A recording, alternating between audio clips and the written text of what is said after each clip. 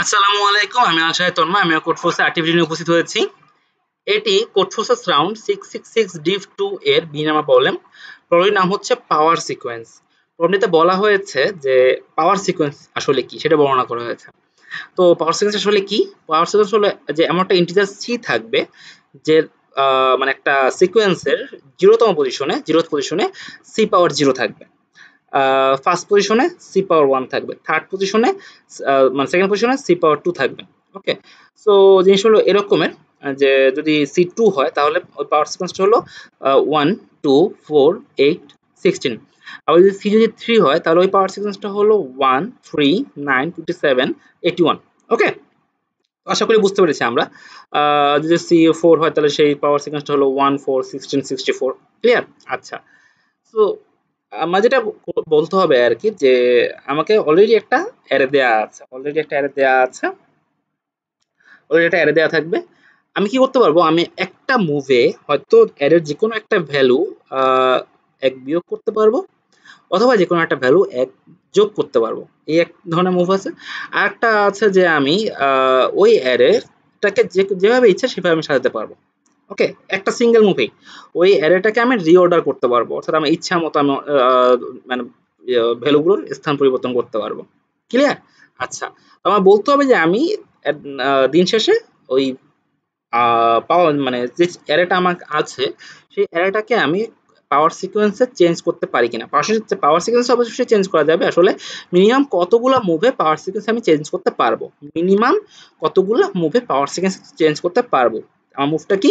আমি একটা মুভে সবগুলো ভ্যালুকে আমি রিঅর্ডার করতে পারব প্লাস আমি যে কোনো ভ্যালুর মান এক কমাতে পারব যে কোনো ইন্ডেক্সের ভ্যালুর মান এক কমাতে পারব যে কোনো ইন্ডেক্সের মান এক বাড়াতে পারব কমানো বাড়ানো যে কোনো সেটা করতে পারব। ক্লিয়ার আচ্ছা। তো আমরা সলিউশন দিকে আগাই।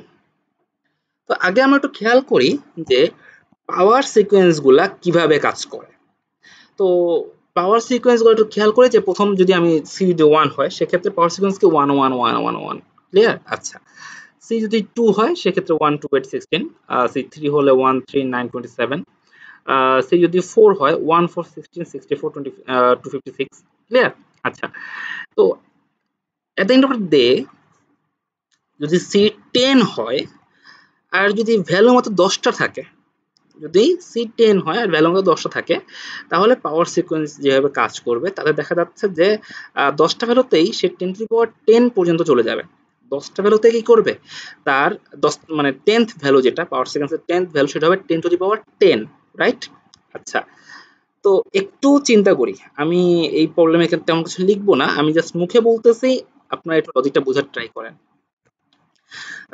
যদি আমার ten to the power ten পর্যন্ত পাওয়ার সিকোয়েন্সে একটা ভ্যালু যেতে পারে মানে যদি দশ হয় মানে সি দশ হয়, অল্প মানে টেন্থ পাওয়ার সিকোয়েন্স যদি আমি বলি টেন্থ পাওয়ার পাওয়ার সিকোয়েন্সের টেন্থ ভ্যালুটাই আসলে ten to power ten right okay তো এখন একটু খেয়াল করি যে আমার প্রত্যেকটা ভ্যালু হতে পারবে কত? টেন টু পাওয়ার নাইন আমার যে অ্যারেটা দেওয়া থাকবে, সেই অ্যারেটার প্রত্যেকটা ভ্যালু হতে পারবে ten to power nine clear okay তো টেন টু পাওয়ার নাইন যে ভ্যালুটা থাকবে, যে অ্যারেটা থাকবে সেটা যদি আমি চিন্তা করি যে ধরে নিই আমাদের প্রথম যে দশটা ভ্যালু বা দশটা না, আমার পনেরোটা সাইজ ধরে নিই, যে আমাকে একটা পনেরো সাইজের অ্যারে দেওয়া হয়েছে। আমাকে একটি পনেরো সাইজের অ্যারে দেওয়া হয়েছে, আমার পনেরো সাইজের অ্যারেতে প্রত্যেকটা ভ্যালু হলো টেন টু পাওয়ার নাইন প্রত্যেকটা ভ্যালু এ টু জেড তো টেন টু পাওয়ার নাইন যদি প্রত্যেকটা ভ্যালু হয়, এখন যদি আমি ধরে নিই যে ওটাকে আমি টেন যে ইয়েটা আছে টেন ভ্যালুটা আছে টেন্থ পাওয়ার সিকোয়েন্স তৈরি করব। তো টেন্থ পাওয়ার সিকোয়েন্স তৈরি করলে কি হবে? One ten ten square ten cube ten fifty বার ফোর টেন বার ফাইভ এগুলো তো টেন বার টেন এবার একটু খেয়াল করি যে দশতম ভ্যালুতে থাকবে টেন টু বার টেন আর আলটিমেটলি আমার যে অ্যারেটা আছে, তার দশতম ভ্যালুটা কি আছে? Ten to power nine right তো আমার টেন টু পাওয়ার টেন এবং থেকে মানে টেন টু পাওয়ার নাইন থেকে যদি আমি টেন টু পাওয়ার টেনে যেতে চাই, তাহলে আমার মুভ কতগুলো লাগবে? আমার মুভ লাগবে হলো ultimately ten to ten minus ten to nine সেটা অনেকগুলো মুভ আলটিমেটলি যদি আপনি একটু চিন্তা করেন ওকে তাহলে যদি আপনি প্রথম যে দশটা ভ্যালু আছে, সবগুলোকে যদি আপনি একের কাছে নিতে চান মানে প্রত্যেকটা ভ্যালুকে যদি আমি এই পাওয়ার সিকোয়েন্স সমান করতে চাই, প্রত্যেকটা ভ্যালুকে আমি এই পাওয়ার সিকোয়েন্সে সমান করতে চাই, তাহলে আমার যে কটা মুভ লাগবে, সব টোটাল যে কটা মুভ লাগবে দশটা ভ্যালুর ক্ষেত্রে, আমার আলটিমেটলি কিন্তু ওই মানে যদি টেন্থ পাওয়ার সিকোয়েন্সে সমান করতে চাই, অর্থাৎ আমি এক এক করে বাড়াতে হয়, তাহলে কিন্তু দেখা যাচ্ছে যে ওই দশতম ভ্যালুতেই একটা ভ্যালুতেই চেঞ্জ করতে ঠিক ততগুলা মুভ লাগবে। ক্লিয়ার অর্থাৎ আমি সম্পূর্ণ সিকোয়েন্সটাকে আমি ফার্স্ট পাওয়ার সিকোয়েন্সে আনতে আমার যতগুলো মুভ লাগবে, আমার জাস্ট একটা ভ্যালুকেই কিন্তু আমি টেন পাওয়ার টেন্থ ভ্যালু এই ভ্যালুতে যদি চেঞ্জ করতে চাই, তাহলে আমার কি লাগবে? আমার পাওয়ার সিকোয়েন্স মানে আমার মুভ বেশি লাগবে। তাহলে আলটিমেটলি কি বলা যায়? আমার আলটিমেটলি আমি বলতে পারি যে হ্যাঁ তাহলে সেক্ষেত্রে তো আমার বাড়ানোর চাইতে মানে টেন্থ পাওয়ার যাওয়ার চাইতে আমার নিচে আসাই ভালো। কারণ কি দেখা, খেয়াল করি যে আমার পাওয়ার সিকোয়েন্স মানে আমার সিকোয়েন্সের লেন্থ কত? টেন ইউবার ফাইভ মানে টেন ইউবার ফাইভটা ভালো থাকতে পারবে। তো আমাদের একটা ভ্যালুই যদি এতখানি নিয়ে নেয়, এতগুলো মুভ নিয়ে নেয়, তাহলে টেন ইউবার ফাইভটা তো অনেকগুলো মুভ নিয়ে নেবে। এর চাইতে কি আমার পিছনে আসা মানে ফোর্থ পাওয়ার সিকোয়েন্স মানে কমানো ভালো, উত্তম। রাইট সো আলটিমেটলি তাহলে খেয়াল করি যে সেক্ষেত্রে আমি কীভাবে কোডটা করতে পারি বা কীভাবে চিন্তা করতে পারি? কোডটা পরে আমি কীভাবে চিন্তা করতে পারি?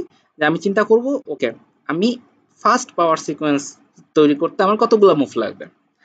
সেকেন্ড পাওয়ার সিকোয়েন্স তৈরি করতে আমার কতগুলো মুভ লাগবে? আলটিমেটলি ফার্স্ট পাওয়ার সিকোয়েন্স হচ্ছে সেকেন্ড পাওয়ার সিকোয়েন্সে মুভ কম লাগবে।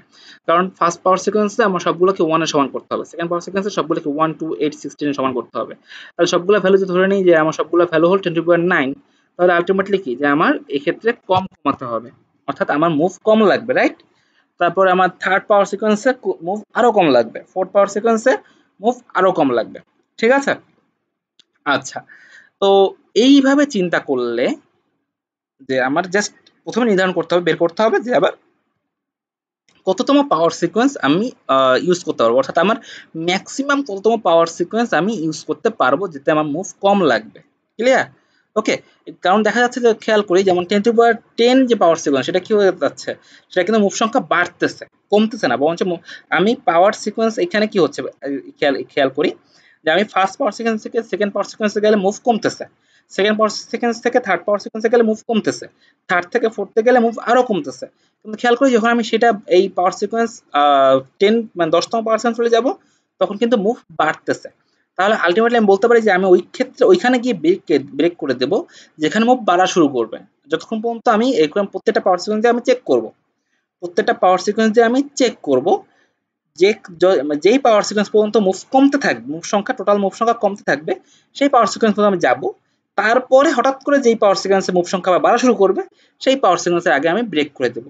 ক্লিয়ার ওকে তো এখন বলতে পারেন যে এটা তোর একটা নেইফ পদ্ধতি। হ্যাঁ আমি সম্পূর্ণ নেইফ পদ্ধতি প্রোগ্রামটা সলভ করতেছি। এই পদ্ধতিতে এখন কমপ্লেক্সিটি কত? তো খেয়াল করি, যখন ভ্যালু মাত্র দশটা, যখন ভ্যালু মাত্র দশটা, তখনই আসলে টেন টু পাওয়ার টেনের বেশি মানে দশতম পাওয়ার সিকোয়েন্স পর্যন্ত যেতে পারতেছে না। ভ্যালুগুলো কি দশতম পাওয়ার সিকোয়েন্স পর্যন্ত যেতে পারতেছে না। তাহলে আলটিমেটলি ভ্যালু যখন দশটার চেয়ে বেশি হবে, তাহলে কি পাওয়ার সিকোয়েন্স আরও কম হবে না? জিনিসটা কি বুঝতে পেরেছি? অর্থাৎ যখন ভ্যালু দেখা যাবে যে টেন টু পাওয়ার ফাইভটা তখন কিন্তু তারা একটা পাওয়ার সিকোয়েন্সের নিচে যাইতে পারবে মানে বেশি যাইতে পারবে না। খেয়াল করি যে আমি কিন্তু টেন টু পাওয়ার ফাইভটা যদি ভ্যালু হয়, তাহলে কিন্তু আমি ফার্স্ট পাওয়ার সিকোয়েন্সের পরে আমি যেতে পারব না। কেন পারব না? সেটা যদি আপনি চিন্তা করেন, খেয়াল করবেন যে সেকেন্ড পাওয়ার সিকোয়েন্সে যদি আমি পঁয়ষট্টিতম ভ্যালুর কথা বলি, তাহলে সেটা কি টেন টু পাওয়ার এইটিনকে ক্রস করে। সেকেন্ড পাওয়ার সিকোয়েন্সে যদি পঁয়ষট্টিতম ভ্যালুর কথা বলি, তাহলে আমার সেটা কি টেন টু পাওয়ার এইটিনকে ক্রস করে রাইট ওকে তো পঁয়ষট্টিতম ভ্যালুতে যদি আমার এটা হয় যে আমার যদি সব টেন টু ফাইভটা ভ্যালু থাকে, আর পঁয়ষট্টিতম ভ্যালু যদি টেন টু নাইন হয়, তাহলে আমার টেন টু নাইন থেকে টেন টু পাওয়ার এইটিন পর্যন্ত যেতে যে যতগুলো মুভ লাগবে, আমি বলতে পারি যে টেন টু ফাইভটার সবগুলো ভ্যালু ওয়ানে আসতে তার থেকে মুভ কম লাগবে। ওকে তার টেন পাওয়ার ফোরটিনটা মুভ লাগবে। সেক্ষেত্রে দেখা যাচ্ছে যে পঁয়ষট্টিতম ভ্যালু যদি আমি টেন পাওয়ার এইটিনে যেতে চাই, তাহলে সেক্ষেত্রে কাছাকাছি টেন টু পাওয়ার এইটিনটা মানে একটু কম বেশি ten to eighteen minus ten to nine এতগুলো মুভ লাগবে। তাহলে কি? তাহলে বলা যাচ্ছে কি যে আসলে যদি টেন টু ফাইভটা ভ্যালু হয়, সেক্ষেত্রে কিন্তু পাওয়ার সিকোয়েন্স এই ওয়ানের বেশি পাওয়ার সিকোয়েন্স মানে ফার্স্ট পাওয়ার সিকোয়েন্সের পরে সেকেন্ড পাওয়ার সিকোয়েন্স যাওয়ারই কোনো অপশন নাই। যদি ভ্যালু যদি তার চেয়ে কম হয়, কম সংখ্যক হয় তাহলে ওকে ফার্স্ট পাওয়ার সেকেন্ডসের পরে সেকেন্ড পাওয়ার সেকেন্ডে যাওয়ার ওয়ে আছে। অর্থাৎ যদি ভ্যালু যদি পঁয়ষট্টিটা কম হয়, পঁয়ষট্টিটা কম হলে আমি যদি সেকেন্ড পাওয়ার সেকেন্ড যেতে পারতেছি।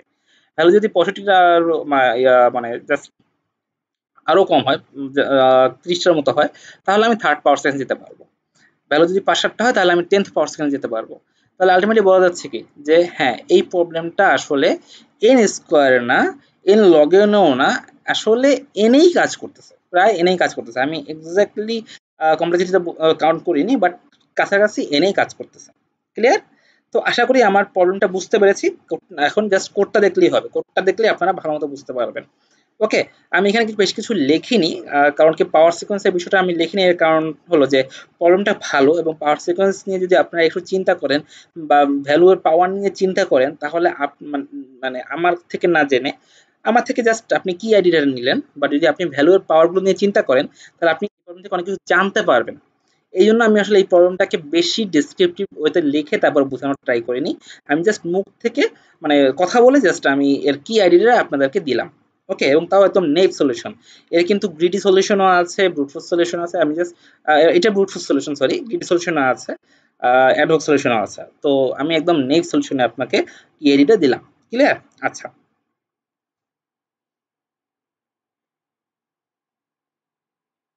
তো আমি কি করেছি? আমি হ্যাঁ একটা কথা যে আমি কিন্তু চাইলে যেটা পারি, যে আমি কিন্তু একটা মুভে শুধু বাড়ানো বা কমানো না, আমি কি করতে পারি? আমি আসলে ওটাকে সর্টও করতে পারি। মানে সর্ট করতে পারি বলতে আমি রিঅর্ডারও করতে পারি রাইট ক্লিয়ার আচ্ছা। তো আমি এই জন্য কি করব? আমি একটা রিঅর্ডার করব। ভ্যালুগুলোকে আমি প্রথমে রিঅর্ডার করতে করা মানে কি? আমি সর্ট করে নেব। তো কেন সর্ট করে নেব সেটা বলি। একটা জিনিস খেয়াল করি যে পাওয়ার সিকোয়েন্স যত সামনে আগাবে, তত কি ভ্যালু বড় হবে? রাইট ওকে তো আমি ধরে নিই যে তিন থেকে দুইতে আসতে যে পরিমাণ ইয়ে মানে মুভ লাগবে, যে কটা মুভ লাগবে, তিন থেকে একে যেতে কি মুভ বেশি লাগবে না? দুইতে আসতে মুভ লাগবে একটা, তিন থেকে দুই, আর একে আসতে মুভ লাগবে দুইটা রাইট ওকে তাহলে জিনিসটা কি? যে বড় থেকে বড় ফেলতে যাইতে আমার মুভ লাগতেছে কম। বড় থেকে যদি ছোট ফেলতে যাই মুভ লাগবে বেশি। তাহলে আলটিমেটলি আমি কি করব? আমি ওটাকে শর্ট করে ফেলব। শর্ট করে ফেললে আমার এটা হবে যে শেষের দিকে বড় ভ্যালু থাকবে। তো বড় ভ্যালু থেকে বড় ভ্যালুতে যেতে আমার মুভ লাগবে একটু কম। তাই আমি ভ্যালুগুলোকে কি করতেছি? ফার্স্টলি শর্ট করতেছি। ওকে আচ্ছা। তো শর্ট করার পর তারপর যেটা করব? যে আমি প্রথমত আমি আই ওয়ান থেকে শুরু করছি। আমি জানি না যে আই কত লাগবে। কারণ যে ক্ষেত্রে ভ্যালু পঁয়ষট্টিটা, সেখানে আই টুতে দিয়েই থেমে যাবে। অর্থাৎ আমি এই আই হলো সেই সি ভ্যালু আর কি। ক্লিয়ার আচ্ছা। সো আই টুতে দিয়ে থেমে যাবে। অর্থাৎ সেকেন্ড পাওয়ার সিকোয়েন্সে গিয়েই থেমে যাবে। আর আই যদি এক মানে যদি পঁয়ষট্টি থেকে ছোট হয়, তাহলে আই কি? আবার থার্ড থার্ড গিয়ে থেমে যাবে। যদি আই মানে ভ্যালু সংখ্যা যদি ত্রিশে থেকে কম হয় মানে এন যদি ত্রিশে থেকে কম হয়, তাহলে আই হয়তো থ্রিতে গিয়ে মানে ফোরে গিয়ে থেমে যাবে। ফোরের অধিকার যাবে না। থ্রি থ্রি কমপ্লিট করবে আর ফোরে গিয়ে দেখবে যে না ফোরে যেই গেছি, সাথে সাথে আমার ইয়া সংখ্যা, আমার মুভ সংখ্যা বেড়ে যাচ্ছে। সেক্ষেত্রে আই আর ফোরে যাবে না। মানে ফোরকেও কাউন্ট করবে না। আই জাস্ট থ্রিকে কাউন্ট করবে। ওকে হ্যাঁ থ্রি হলো আমার অ্যান্সার ক্লিয়ার আচ্ছা। তো আমার এখানে যেটা করব যে আমি সি এখানে যেটা রেখেছি এটা হলো মুভ সংখ্যা। আমি কতগুলো মুভ লাগবে পি এটা হলো যে আমার মানে আইতম ভ্যালু পাওয়ার সিকোয়েন্সের value first value second value তো পাওয়ার সিকোয়েন্সের ফার্স্ট ভ্যালু অলটাম কি থাকে? ওয়ান থাকে, তাই আমি ফার্স্ট টাইম এটাকে মধ্যে ওয়ান অ্যাসাইন করে রেখেছি, এবং তারপর আমি যদি ওটাকে আই দ্বারা গুণ করতে থাকি আই দ্বারা গুণ করতে থাকি, অর্থাৎ আমি এটাকে যদি এটা যদি আমার থার্ড পাওয়ার সিকোয়েন্স হয়, তাহলে আমি থ্রি দ্বারা গুণ করব? তিন দ্বারা গুণ করলে পি এ মান থ্রি হয়ে যাবে, তারপর কি? নাইন হয়ে যাবে, তারপর টোয়েন্টি সেভেন হয়ে যাবে, তো আলটিমেটলি এটা হলো পাওয়ার সিকোয়েন্সের ভ্যালু ক্লিয়ার আচ্ছা আর ওকে হলো যে আমি এটা ওকে রাখার কারণ হলো যদি কখনো এরকম হয় যে আমার টোটাল ভ্যালু আমার যে মানে টোটাল মুভ সংখ্যা, আমার যে মুভ সংখ্যা অলরেডি দরকার মানে যে কটা মুভ সংখ্যা আমার আছে, তার থেকে বড় হয়ে যাচ্ছে, আমার মুভ সংখ্যা কমার জায়গায় মানে সি এর মান কমার জায়গায় সি এর মান বাড়তেছে। যেমন ওই যে আমি টেনের কথা বলছি যে দশটা ভ্যালু হইলে টেন্থ পাওয়ার সিকোয়েন্সে সে কি করবে? মুভ সংখ্যা বেড়ে যাবে, কমার জায়গায় বাড়বে। তো এরকম যদি কোনো একটা পাওয়ার সিকোয়েন্সে যদি এরকম হয় যে মুভ সংখ্যা বেড়ে যাচ্ছে, তার সাথে আমি ওকে ওয়ান করে দেবো ব্রেক করে দেবো। আবার যদি ওকে যদি ওয়ান পাই, তাহলে আমি ব্রেক করে দেবো। ক্লিয়ার আচ্ছা। তো আমি মুভ সংখ্যা কীভাবে কাউন্ট করব? মুভ সংখ্যা কাউন্ট করব হলো যে আমি কি? যে আমার পাওয়ার সিকোয়েন্সের তোমার ভ্যালু হবে পি রাইট পাওয়ার সিকোয়েন্সের যে তোমার ভ্যালু হতে হবে পি আর পাওয়ার সিকোয়েন্সের তোমার ভ্যালু আছে আপাতত এ জে তাহলে আমি কি করব? আমার পি থেকে এ জে আমি এক এক করে কমাই, এক এক করে বাড়াই, তার মানে কি? আমি পি থেকে এ জের ডিস্টেন্সটা লাগবে, তাই না? যত ডিস্টেন্স আমি ততগুলো মুভ লাগবে? পি থেকে এ জের ডিস্টেন্স ধরে নিই, দশ মুভ লাগবে দশ, তাহলে সির সাথে কত যোগ হবে? দশ যোগ হবে ওকে আচ্ছা সো আমি এইভাবে প্রত্যেকবার পি থেকে এজের আমি মুভটা বের করতেছি পি থেকে এজের মুভটা বের করতেছি এবং মুভটা বের করে আমি জাস্ট সির সাথে যোগ করতেছি। কোথাও যদি দেখি যে সি এক্স থেকে বড় হয়ে যাচ্ছে এক্স হলো মেন অ্যান্সারটা মিনিমাম মুভ তো কথা যদি দেখি যে মুভ কমার জায়গায়, অর্থাৎ টোটাল মুভ কমার জায়গায় কোনো একটা পাওয়ার সিকোয়েন্সের জন্য টোটাল মুভ বেড়ে যাচ্ছে, সেক্ষেত্রে আমি ওকে ওয়ান করে দেবো, আমি বলে দেবো হ্যাঁ এরপরে আর পাওয়ার সিকোয়েন্স চেক করার দরকার নেই। কারণ কি কি এই পাওয়ার সিকোয়েন্সে যখন টোটাল মুভ বেড়ে গেছে, তাহলে তার পরের পাওয়ার সিকোয়েন্সের ভ্যালু তো আরও বড় বড়। সেক্ষেত্রে কি টোটাল মুভ আরও বাড়বে। সো আমার তারপরে চেক করার দরকার নেই। ওকে ওয়ান করে দেবো ব্রেক করে দেবো ফুল লুপটা ব্রেক করে দেবো এবং এক্সের মধ্যে তো বারবার আমি সি অ্যাসাইন করেছি। অর্থাৎ যদি আমার ব্রেক না হয়, তার মানে কি? তার মানে হলো হ্যাঁ আমার এখন যে সিটা আছে এটা এক্সের বড় না বড় এক্স ছোট বা এক্সের সমান হতে পারে। ওকে সো আমি এক্সের মধ্যে সি বারবার অ্যাসাইন করতেছি যে এই হলো আমার মুভ সংখ্যা। এই হলো আমার মিনিমাম মুভ সংখ্যা।